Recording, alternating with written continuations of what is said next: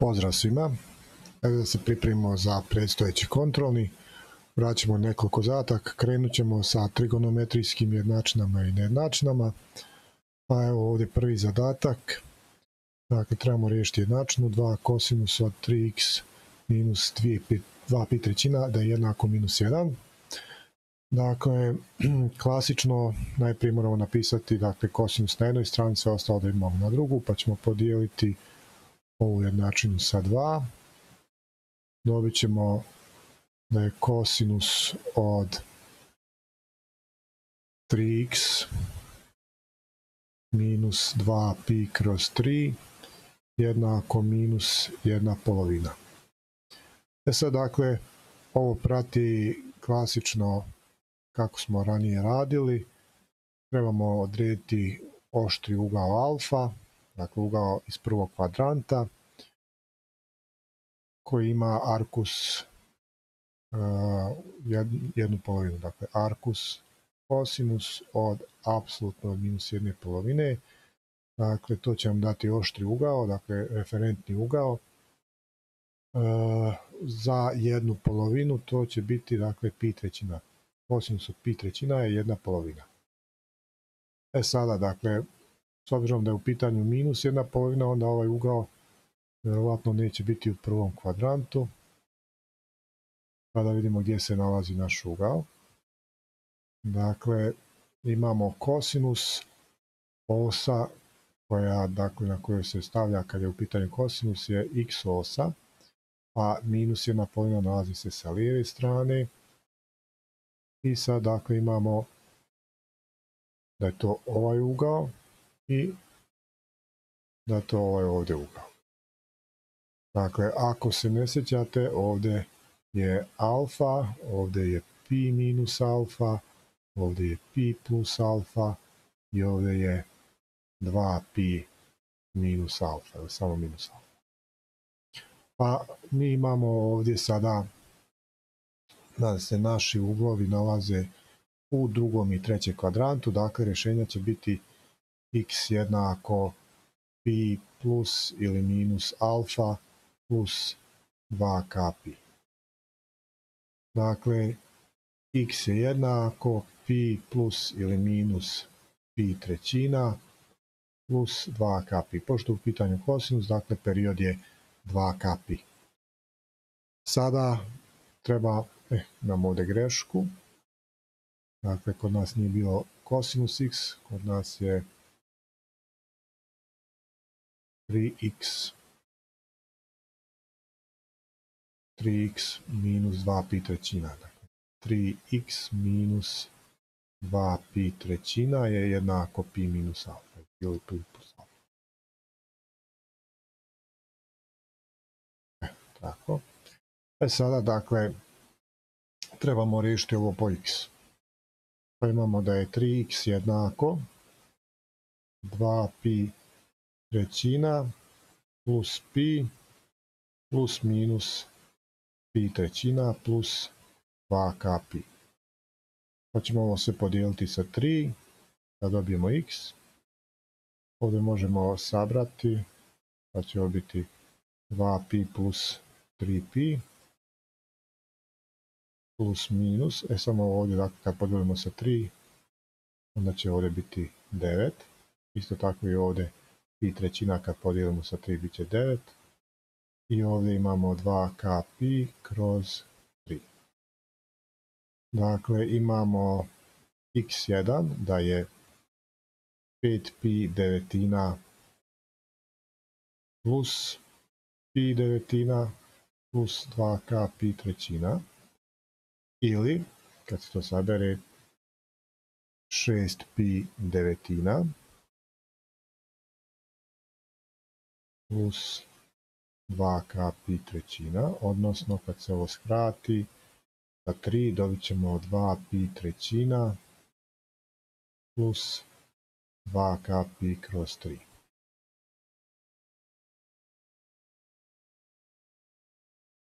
To je jedno rješenje. Drugo rješenje x2 dobijamo kad stavimo minus, dakle 5 pi devetina minus pi devetina plus 2k pi trećina, pa je ovo jednako, 4 pi devetina, plus 2k pi kroz 3. I to je drugo rješenje. Možemo dalje. Sljedeća e, jednačina je kosinus e, od x minus 5 pi šestina jednako 0. Ovo je jednačina gdje imamo dakle kosinus jednak jednoj od ovih specijalnih slučajeva, dakle 0, 1 i minus 1. Dakle, ako imate sinus jednako 0, 1 i minus 1, odnosno kosinus jednako 0, 1 i minus 1, onda sinus i kosinus nemaju dva rješenja, dva tipa rješenja, nego ima samo jedan tip rješenja. Dakle, iz jednakosti kosinus x jednako 0 slijedi da je x jednako pi pola plus k pi, pošto se nule duplo brže javljaju na intervalu nego ostali brojevi.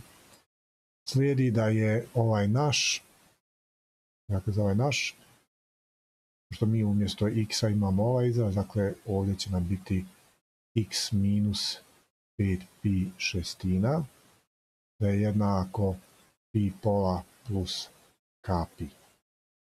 Dakle, mi umjesto x-a imamo ovaj izraz, pa ćemo ovamo na lijevoj strani umjesto x-a imati taj izraz. I sad samo riješimo po x-u.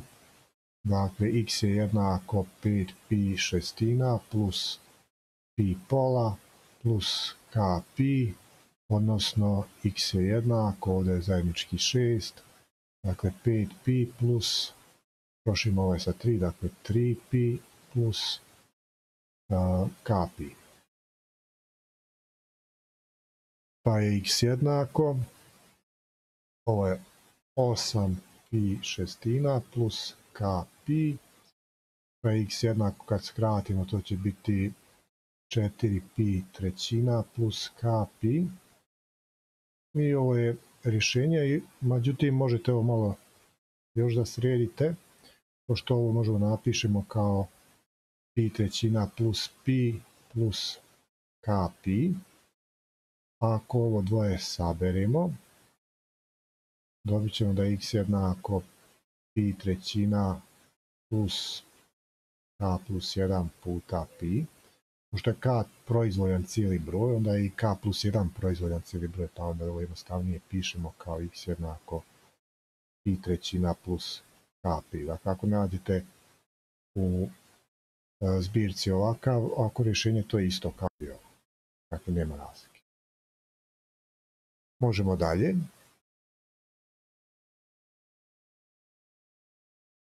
kotangens od 3x minus pi četvrtina. Dakle, ovdje sad imamo kotangens, razlika kod kotangensa je dakle što sad imamo samo jedan tip rješenja, to je rješenje je dakle alfa plus k pi ako je alfa, ako ovaj ovdje broj pozitivan, pardon, ne, ne znam da se vidi, ako je ovaj broj ovdje pozitivan, dakle onda je rješenje 3x minus pi četvrtina jednako alfa plus k pi. Ako je ovaj broj negativan, onda je rješenje 3x minus pi četvrtina jednako minus alfa plus k. Dakle, to je jedino, dakle, rješenja mogu biti pozitivna ili negativna, dakle, zavisno da li je ovaj broj pozitivan ili negativan, dakle, nemaju dva tipa rješenja, samo jedan tip rješenja, ne, ne pravimo kružnicu i, dakle, E, period nam više nije 2 kapi kao kod sinusa i kosinusa, nego kapi. Pa hajde da riješimo i taj zadatak. Dakle, e, sada odredimo alfa najprije. Alfa je arcus kotangens od apsolutno od korijena 3. Dakle, kotangens od pi šestina daće nam korijen od 3, pa je dakle arkus kotangens od korijena od 3 pi šestina. I sad možemo dakle da pišemo naše 3x minus pi četvrtina jednako je alfa, to je dakle pi šestina plus k pi. Dakle, da je ovaj ovdje broj bio negativan, ovo je bilo minus pi šestina, međutim, pošto je ovo pozitivno, ovo je sad ovdje pozitivno. I dakle, period je k. Sve ostalo je isto. Dakle, 3x je jednako pi četvrtina plus pi šestina plus k pi. Ćemo ovo sve podijeliti sa 3 da dobijemo x. x je jednako, ajde prvo sabirimo ova dva, zajednički za 4 i 6 su 12. Pa ćemo ovaj proširiti sa 3, dakle bit će 3 pi, pa ćemo proširiti sa 2, pa će biti plus 2 pi. I ovo dijelimo sa 3, pa će ovdje biti puta 3, plus k pi i dakle dijelimo sa 3 x je jednako 5pi kroz 36 plus kpi trećina. I to je kraj ovog zadatka. Možemo dalje. Sada e, imamo primjer, dakle, ako nije osnovna trigonometrijska jednačina, dakle trigonometrijska jednačina oblika sinus jednako broju, kosinus jednako broju, tangens ili kotangens jednako broju, onda se to, dakle, onda je to jednačina koja se svodi na taj Pa da li se svodi tako što napravite smjenu, tako što napravite faktorizaciju ili nešto drugo, dakle, zavisi od primjera do primjera. Evo ovdje imamo jedan primjer gdje ćemo izvući kosinus x ispred zagrade, pa u zagradi nam ostaje 4 sinus na kvadrat x minus 3, pa da je to jednako 0. Sad imamo da je proizvod jednak nuli ako je jedan od ovih faktora nula. Pa dakle imamo dvije mogućnosti. Ili je kosinus x jednako nula, ili je 4 sinus na kvadrat x minus 3 jednako nula. Pa kosinus, jedna, kosinus x jednako nula, to već smo rekli malo prije. Dakle, x mora biti oblika pi pola plus k pi ili ovo se rešava tako što dakle, svedemo na uh, ovu osnovnu trigonometrijsku jednačinu, dakle 4 sinus na kvadrat x jednako je 3, odnosno sinus na kvadrat x jednako je 3 četvrtine, a kad ovo korijenujemo, korijen od kvadrata da će nam apsolutno sinus x da je jednako korijen od 3 četvrtine, odnosno sinus x je ili plus ili minus korijen od 3 kroz 2. Pa, dakle, ovo će nam biti prvo rješenje. Sad odavde trebamo dobijemo ostala rješenja. Dakle, sad imamo x2, 3 da je jednako. Pa hajde vidimo dakle, šta, šta je moguće. Dakle, u pitanju je sinus, pa ovdje dakle imamo, ovo je korijen iz 3 kroz 2, i u tom slučaju imamo ova dva ugla, ova je alfa, ova je pi minus alfa. Drugi slučaj je da je sinus jednako minus korijen iz 3 kroz 2 i u tom slučaju imamo ova dva ugla. Dakle, ova je pi plus alfa, a ova je 2 pi minus alfa ili samo minus alfa. Dakle, imamo u suštini rješenja u sva četiri kvadranta. Pa ja ću zbog jednostavnosti sebi razdvojiti to na ova dva rješenja i ova dva rješenja. Kako? Pa, evo recimo, ova neka bude e, dva, rješenja 2 i 3, a ovo neka budu rješenja 4, 5. Pa da vidimo. Dakle, 2 i 3 će biti alfa plus ili minus alfa plus 2 k pi, pošto je to period sinusa. Dakle, x2 ili 3 je jednako, pa trebamo odrediti alfa. Alfa je arcus sinus od apsolutno plus minus korijen iz 3 kroz 2. A to je pi trećina. Dakle, sinus od pi trećina je korijen iz 3 kroz 2. Pa sad ćemo imati dakle plus ili minus pi trećina plus 2 k pi. I to su ta dva rješenja. Dakle, to je i 2 i 3. Idemo sada na 4 5. X 4 ili 5 će biti oblika pi plus ili minus alfa plus 2 k pi.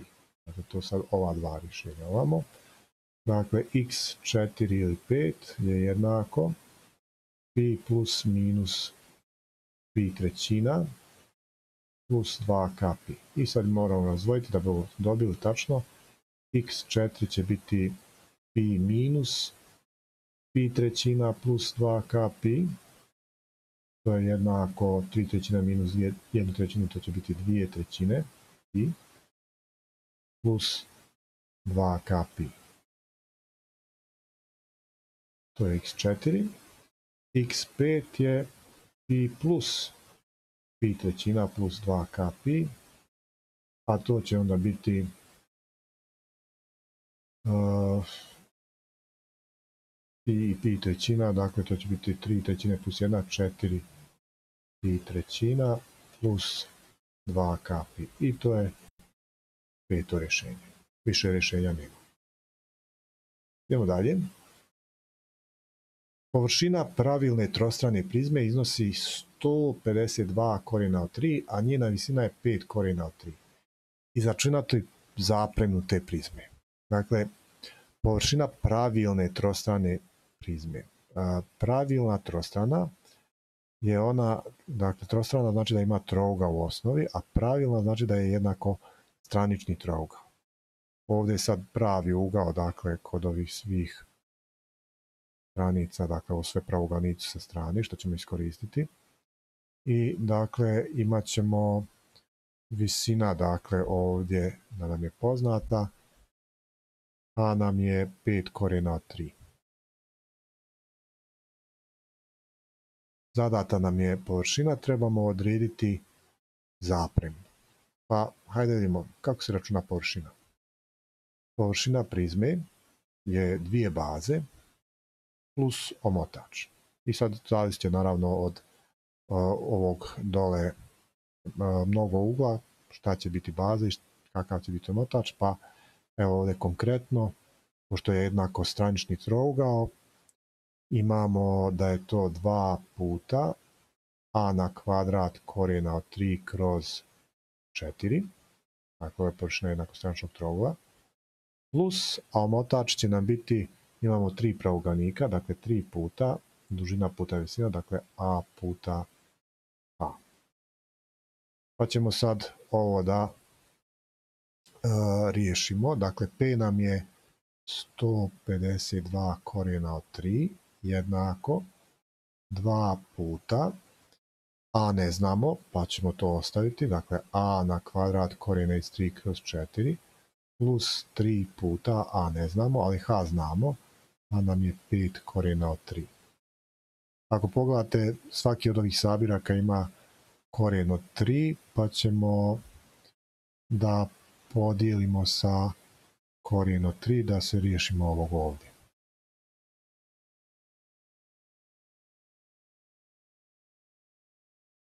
Imamo 152 da je jednako, ovdje možemo skratiti 2 i 4, pa ćemo imati a na kvadrat polovina plus ovdje nam ostaje 15a.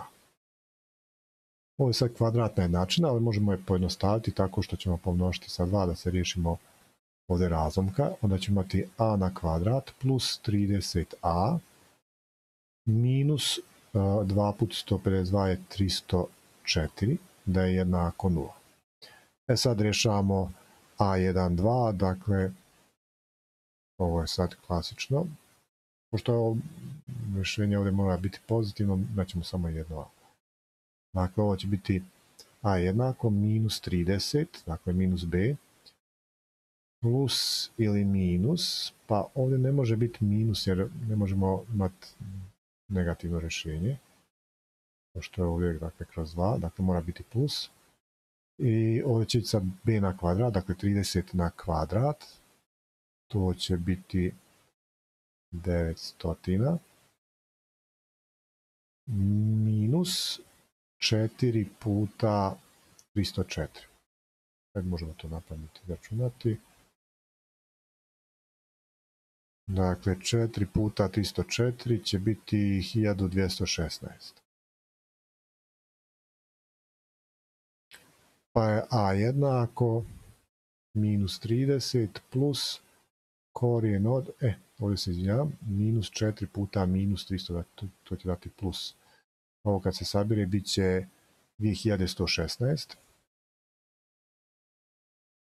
kroz 2. Dakle, a nam je jednako minus 30 plus korijen od 2016, 2116 je 46 kroz 2. Pa je a jednako 16 kroz 2 i to je 8. Dakle, stranica a je 8. Sad kad imamo stranicu a, možemo izračunati zapreminu. Dakle, zapremina prizme je b puta a. b smo već računali ovdje, dakle nismo konkretno, imamo formulu za b a na kvadrat korijena iz 3 kroz 4 puta a. v je jednako, a nam je 8, dakle ovo će biti 64 korijena od 3 kroz 4 puta 5 korijena od 3. Vrati se 4 i 64, ovdje ostaje 16. V je jednako 16 puta, a ovdje imamo korijen od 3 puta korijen od 3, to je 3, korijen od 9, 3, i puta 5 je 15. Pa je V jednako 16 puta 15, a 15 puta 15 je 250 i 225 i još 15 240. I to je zapremna koja se traži. Idemo na sljedeći zadatak. Površina pravilne četvorostrane piramide iznosi 333, a visina bočne strane je za 5 veća od osnovice piramide. Izračunati zapremnu piramide. Dakle, prvo što radite, nacrtate skicu, dakle u pitanju je pravilna četvorostrana piramida. Dakle, osnova je kvadrat, je pravilna, ovo je A, ovo je A, tako dalje. Dalje, visina bočne strane, to će biti ovo malo H. Dakle, za visinu imamo da je H za 5 veće od osnovice.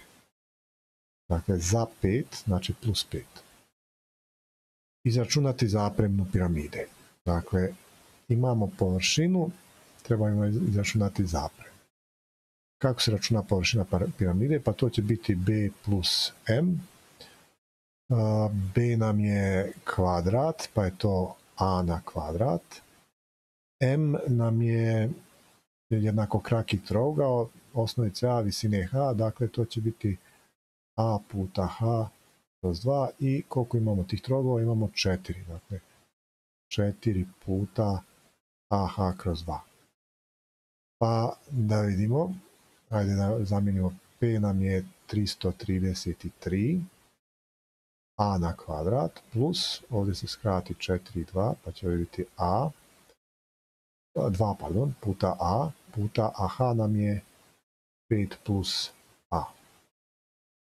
Pa ovo je opet kvadratna jednačina, dakle A na kvadrat plus 2a na kvadrat plus 10a minus 333 da je jednako 0. Odnosno 3a na kvadrat plus 10a minus 333 da je jednako 0.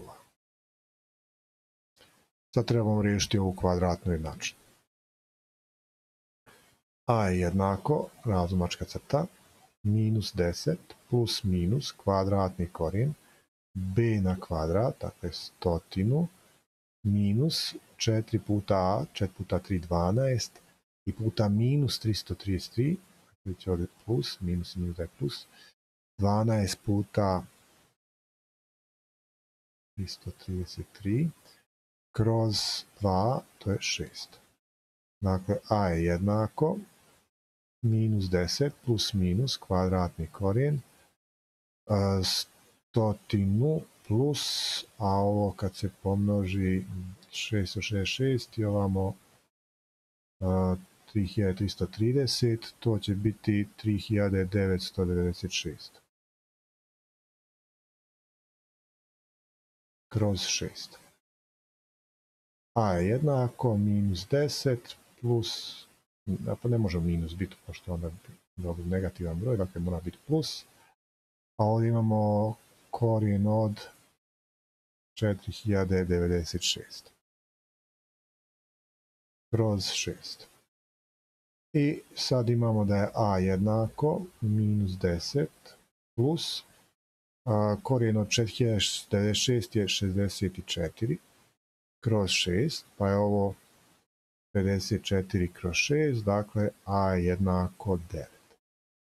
Ako a jednako 9, h je 9 plus 5, pa je to 14.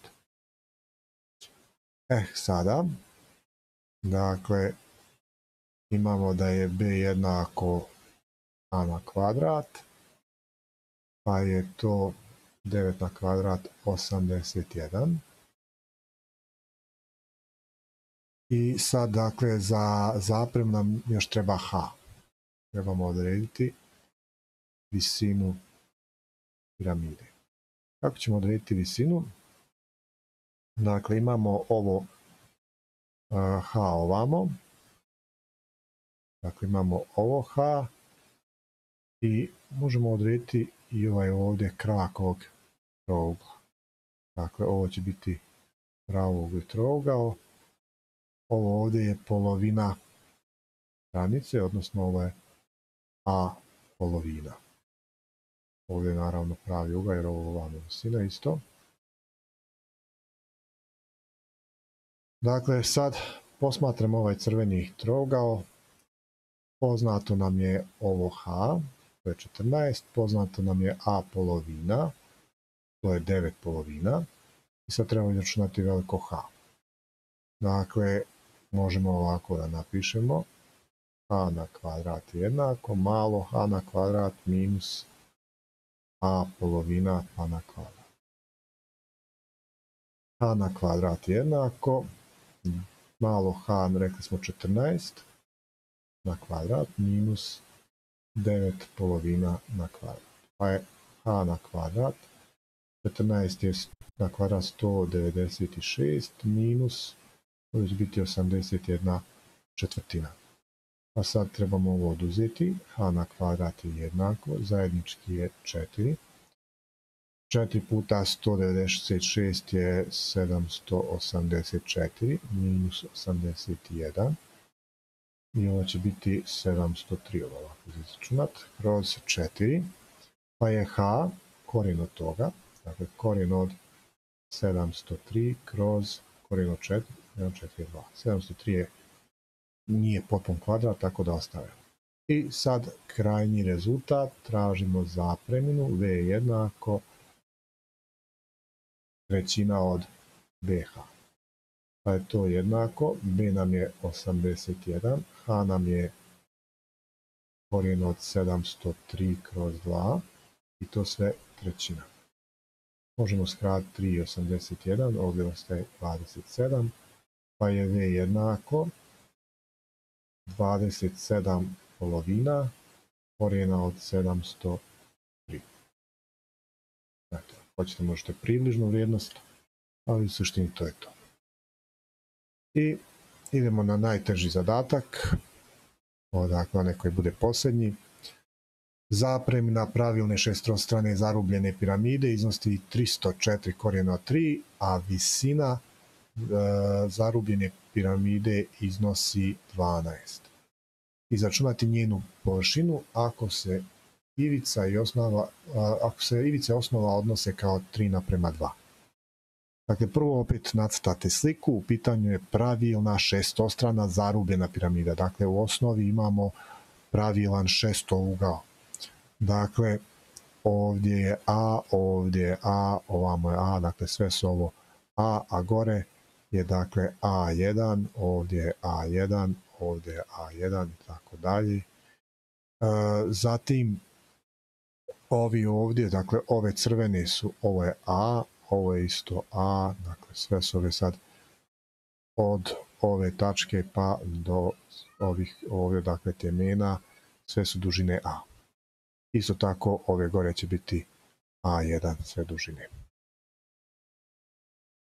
E, dalje e, imamo da je zapremina, ovaj put imamo zapreminu, imamo V da je jednako 304 korijena od 3, a visina, visina dakle to nam je ova rastojanje između ove dvije uh, osnove, H nam je 12. Izračunati njenu površinu, ako se ivice odnose, dakle A naprema Dakle, ako se ivice odnose A naprema A1 kao 3 naprema 2. E sad, dakle, iz ove ovdje osobine da se a naprema 1 odnose kao 3 naprema 2, možemo dobiti da je a jednako 3k, a da je a1 jednako 2k. I sad, dakle, kod formule za zapremnu imat ćemo b, pa ćemo odmah da vidimo šta je zapremina, pardon, šta je površina osnove b. Pa, pošto je osnova sastavljena od šest ovih jednakostraničnih trouglova, onda će ona biti šest puta, a površina jednakostraničnog trougla je a na kvadrat korijena iz 3 kroz 4. Pa će ovo biti jednako, ovdje možemo dati 6 i 4, ovo je 3, to je 2. Ovdje a na kvadrat, to će biti 9 a na kvadrat puta 3 kroz 2 korijena od 3, dakle ovo je 27 k na kvadrat kroz 2. Dobro, sljedeća nam je b1, to će biti 6 puta a1 na kvadrat korijena od 3 kroz 4. Ponovo ovdje se skrati. Imat ćemo 3 puta a1 je 2k, pa to kad kvadriramo bit će 4k na kvadrat, korijena od 3 kroz 2. Pa je ovo jednako, ovdje možemo skratiti 2 i 4, to je 6k na kvadrat, korijena od 3. Dobro. Idemo sada za preminu. B jednako h trećina pomnoži b plus b1 plus korijen od b puta b1. b znamo, to je 304 korijena od 3, jednako je, h nam je 12 kroz 3, b nam je 27k na kvadrat kroz 2, plus b1 je 6k na kvadrat korijen od 3, e, ovdje mi fali korijen od 3, Moramo da popravimo to. I sad nastavljamo dalje. Plus kvadratni korijen od proizvod ova dva. Dakle, 27k na kvadrat puta korijen od 3 kroz 2 puta 6k na kvadrat korijena od 3. Zatvorena zagrada. 304 korijena od 3 jednako je 4 što množi. Pa ovdje imamo 27 k kvadrat korijena od 3 kroz 2 plus 6 k na kvadrat korijena od 3 plus pa da vidimo ovdje možemo skratiti 2 i 6, ovdje će ostati 3. Imamo 27 puta 3 je 81, korijen od toga je 9. Imamo k na kvadrat i k na kvadrat, to je k na četvrtu, korijen od toga je k na kvadrat. Imamo korijen od 3 i korijen od 3, to je korijen od 3 na kvadrat, pa kad korijenimo to, ostaje samo korijen od 3 i to je to. Sad pomnožimo ovu zagradu sa 4, dakle imamo 304 korijena od 3 jednako je će se ovdje 2 i 4, pa ćemo imati 2 po 27, to je 54 k na kvadrat korijena od 3, plus 6 put 4 24 k na kvadrat korijena 3 plus 36 k na kvadrat korijena 3. Dakle, imamo 304 korijena 3 da je jednako.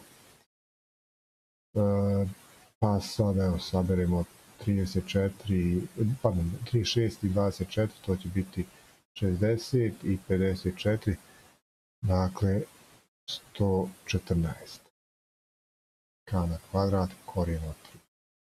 I odavdje dobijamo koliko je k na kvadrat. Dakle, k na kvadrat je jednako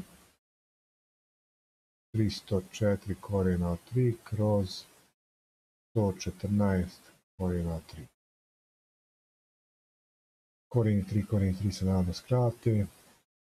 304 je... Mm -hmm, 16 puta 19, a 114 2, dijeli sa 3 i puta 19. Pa je ovo kad se skrati, postaje 8 trećina. Dobro, to nam znači da je k korijen od 8 trećina, a to je 2 korijen od 2 kroz korijen od 3 ili možete ako racionališete 2 korijena od 6 kroz 3. Sad možemo izračunati koliko je a. Odavde imamo da je a jednako 3 puta ovo, dakle 2 korijena od 6. I a1 je onda jednako 2 puta ovo, a to je onda 4 korijena od 6 kroz 3. I sad kad imamo A, trebamo odrediti uh, površinu. Dakle, za površinu treba nam B1 i B2, to neće biti problem sada kad imamo A, ali treba nam još površina jedne od ovih bočnih strana. Bočne strane ovdje su trapezi. To je jednako krak i krak. Dakle, imamo da je ovo A, ovo A1 i sad površina trapeza se računa pomoću dakle, ove dvije osnove i visine. Pa kako ćemo dobiti ovu visinu? Znači ćemo je sa malo h.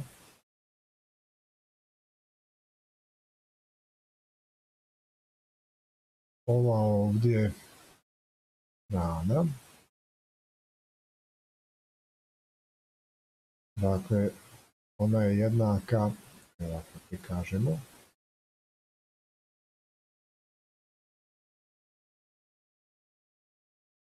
Smanjimo ovu debljinu. Visoko. Da.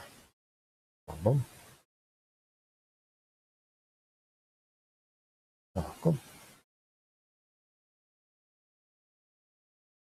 Dakle, ovo ovdje rastojanje je A1. Znači da je ovo ovdje preostalo A minus A1. A pošto su ova dva trougla podudarna, onda je ovo A minus A1 polovina. I možemo onda to ovako da zapišemo. Dakle, H na kvadrat će biti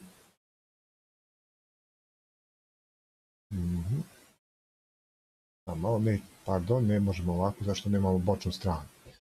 Mislim, možemo izračunati bočnu stranu jer imamo imamo mi ovu visinu, imamo ovu stranicu, pa možemo izračunati bočnu stranu, ali mislim da nam je bolje da rješavamo ovako, na sljedeći način. A, možemo ovdje povući visinu, visinu iz ovog trougla visinu iz ovog trougla gore, njih možemo lako odrediti, to je a korijena iz 3 kroz 2 i onda dakle možemo da posmatramo ovaj ovdje je e, pravogli trapez. Ajde njega dakle posmatramo. Biće nam lakše za izračunati malo h.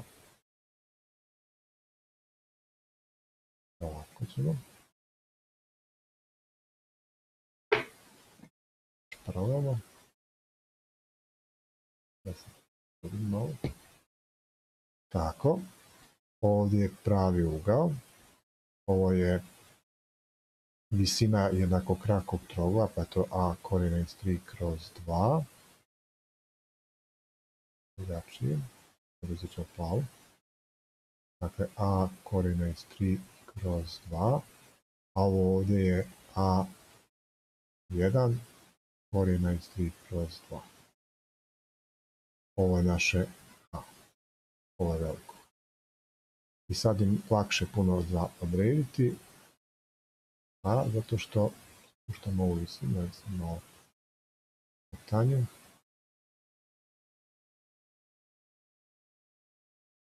Spuštamo ovu visinu ovdje. I sad dakle posmatramo ovaj ovdje trogla. U ovom troglu dakle ova dole kateta je razlika ove gore dvije. Dakle, ajde ovako, k na kvadrat, dakle to je ova uh, hipotenuza, pa će to biti ova kateta, a na kvadrat, plus ova ovdje druga kateta je razlika ove dvije strance, dakle to će biti a korijena od 3 kroz 2 minus a1 korijena od 3 kroz 2, a to na kvadrat. I sad možemo izračunati h, a na kvadrat je, a veliko je 12 na kvadrat, plus ovdje zahtjeva malo računa, malo a je 2 korijena, a, 2 korijena 6, dakle 2 korijena 6 puta korijena 3 kroz 2, minus, ovaj drugi je još komplikovaniji, dakle 4 korijena od 6 kroz 3 puta korijen od 3 kroz 2 pa na kvadrat. Pa na kvadrat će biti 144 plus u zagradi. Ovo moramo srediti. Ovo je korijen od 18 ili 2, a, korijen od 2 minus a ovdje će se skratiti dva, pa će biti dvije trećine. I ovdje ćemo imati opet korijen od 18. Pa na kvadrat.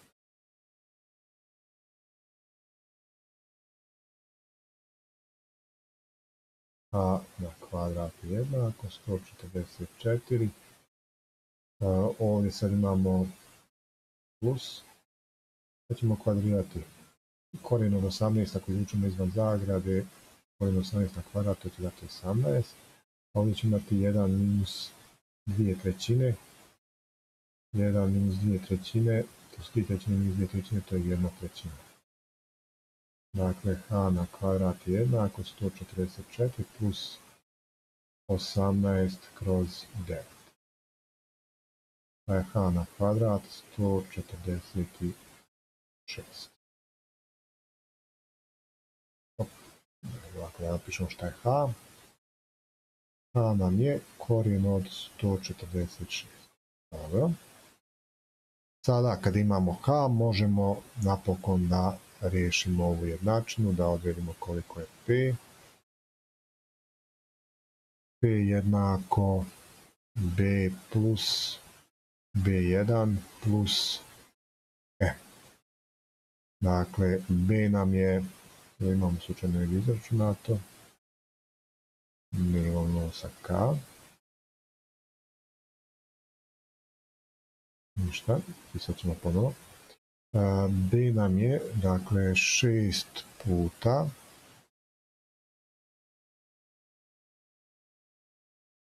Šest puta a na kvadrat korijena 3 kroz 4, to je b. Plus b1 je 6 puta a1 korijen od 3 kroz 4 plus a ovdje sad imamo 6 puta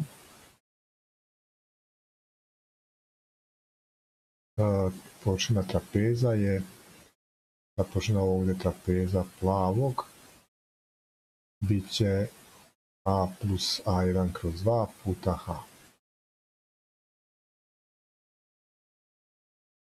Pa je ovo jednako. 6 možemo izvući izvan zagrade. a na kvadrat, to će biti 4 puta 6, 6 puta 4, 24 korijena od 3 kroz 4 plus. A kad pariramo a1 to će biti uh, da vidimo 16 puta 6 kroz 9 dakle može se skratiti. Dakle 32 trećine ovdje će biti puta 4 i ovdje puta korijena 3 plus a1 plus a2 kroz 2 hmm. to će biti 2 plus 4 trećine 2 po 3 su 6 i 4 10 trećina korijena od 6 kroz 2 puta korijen od 146.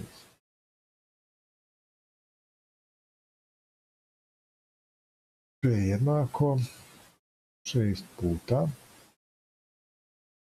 Ovdje imamo u zagradi 24 korijena od 3 kroz 4, ajde možemo skratiti 24 4 to će biti 6 korijena od 3 plus ovdje možemo skratiti 4 32 ostaje 8 dakle bit će 8 trećina moram podići.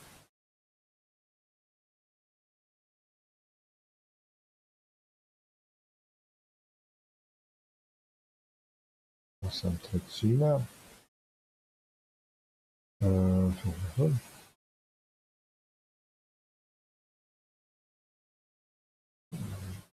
korijena od 3